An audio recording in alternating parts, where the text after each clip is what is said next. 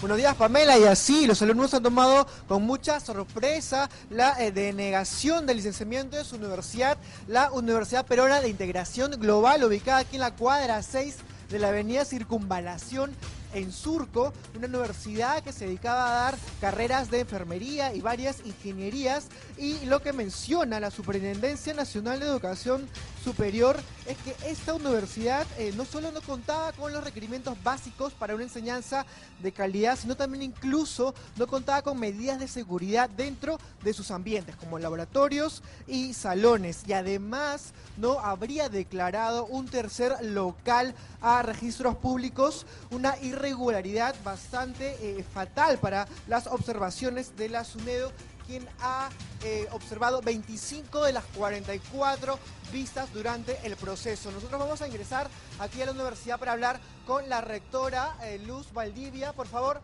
ella nos quiere dar unos minutos para responderle a esta notificación de hoy. Vamos a ingresar acá a la universidad porque esta mañana también hay muchos alumnos que están ingresando para sus clases. Buenos días, rectora. Eh, la notificación es que ya le han denegado el licenciamiento, no van a poder ustedes otorgar más enseñanza superior.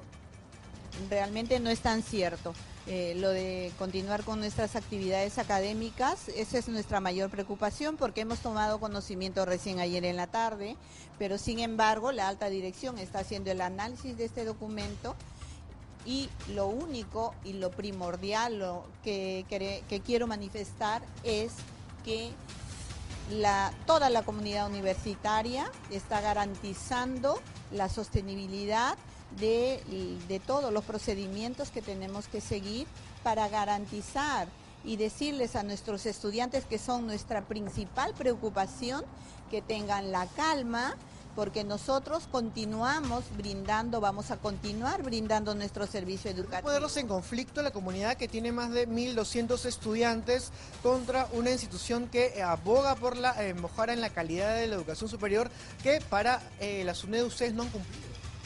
Realmente, eh, por eso le, le manifiesto que nosotros estamos analizando el documento, pero lo que sí garantizamos es la continuidad de los estudios y queremos decir a toda nuestra comunidad que, que haya calma, que frente a una situación de esta naturaleza no podemos aventurarnos de un día para otro a tomar decisiones no pertinentes. Bueno, Jesús. En ese caso, nosotros como autoridades estamos garantizando que esa calidad que nosotros pensamos que sí hemos brindado. ¿Usted sí cree? Hay un pregunta en, estudios. No, sí, Jesús. Lo, que sucede es que esta decisión o este análisis que la UPIG haga de eh, el documento que ha enviado su NEDU la tienen que hacer rapidísimo porque estamos hablando de muchos estudiantes que tienen que decidir su futuro. Entiendo que hay un proceso de cierre, efectivamente, pero claro, no es tan cierto que vayan a garantizar que continúen los estudios en esta casa de estudios porque ya no van a tener la licencia. Supongo que es en un, par de años, Pamela, el proceso dura aproximadamente dos años, pero ellos tienen que decidir rápidamente qué cosa es lo que van a hacer. Así es, Jesús. En, en, todo caso, ellos se comprometen a garantizar la calidad que hasta este momento venían brindando a los alumnos, porque quizás esa puede ser la mayor preocupación, perder todo este tiempo que ellos ya han invertido, además del dinero en sus estudios. Así es, eh, rectora, eh, de alguna manera ustedes van a apelar a esta resolución, tienen 15 días, pero usted se compromete a garantizar la educación de sus alumnos de aquí en adelante porque ya se le ha denegado esta vez el licenciamiento. Sí, tenemos justamente 15 días para tener una apelación de reconsideración. Eh, nos vamos a allanar a ese plazo, obviamente, pero nuestras actividades debemos continuar porque son dos años, en, en el último de los casos son dos años que tenemos para garantizar la formación que como responsabilidad ya hemos asumido cuando los estudiantes han ingresado a esta universidad. Muchas gracias. Y para tranquilidad de los alumnos de esta comunidad universitaria, que suma más de 1.200 en los exteriores de la universidad, está, a ver si me pueden abrir la puerta, por favor, gracias. El personal de la SUNEDU que va a asesorar a los alumnos esta mañana para que puedan tener tranquilidad en sus labores. Aquí vamos a hablar con el vocero de la SUNEDU, el señor Daniel Navarro, quien ha preferido estar en los exteriores para evitar algún conflicto pues, con las autoridades de la universidad. Daniel, ¿qué tal? Muy buenos días. ¿Cómo va a ser el proceso de asesoramiento de los alumnos para que ellos puedan trasladarse a otras carreras porque ya obviamente no pueden estudiar aquí? Buenos días, sí, efectivamente un módulo de SUNEDO está atendiendo aquí cerca de la universidad, en la esquina con la avenida Cerro Chico. Eh, vamos a estar todo el día los estudiantes que estén interesados en recibir información sobre este proceso de cese de actividades progresivo y que sepan cuáles son las opciones que tienen para continuar sus estudios.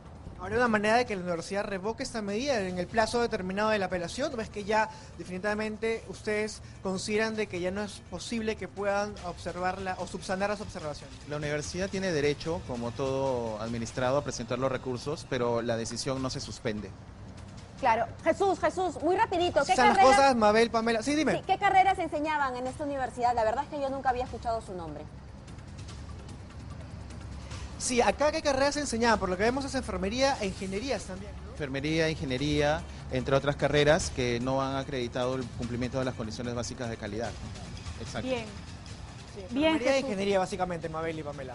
Bien, Jesús, muchísimas gracias. Así, aquí estoy leyendo que enseñaba ingeniería civil, ingeniería de sistema e informática, enfermería, derecho y ciencias políticas, marketing y negocios empresariales. Siete carreras. Bueno, ahora ya los padres saben lo que está sucediendo porque este es un proceso bastante largo en donde van a ir cerrando las universidades y hay que tomar una decisión muy importante ahora que los chicos van a postular a la universidad. ¿A qué, a qué universidad voy a ir? ¿Está licenciada ya? ¿Corre riesgo de no tener esta, esta licencia para seguir funcionando? Es una decisión muy importante porque corren el riesgo de perder su dinero ¿no? y su tiempo. Así es. Y ahora los jóvenes que están estudiando en estas universidades, que ya ah, se han visto con la eh, licencia cancelada, también van a tener que evaluar las opciones que tienen para cumplir y culminar con sus estudios.